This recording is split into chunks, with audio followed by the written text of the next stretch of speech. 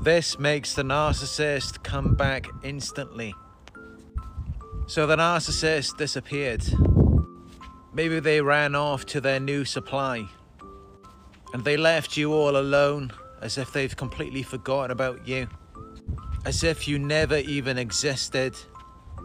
When there is a way for you to get them to come back instantly. And all you have to do is this take your attention and focus off of them, and instead put it back on yourself. As soon as you do that, they will sense your energy slipping away from them.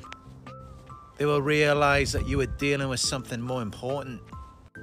While the narcissist wants the world to revolve around them. So as soon as you do that, the narcissist will come back instantly.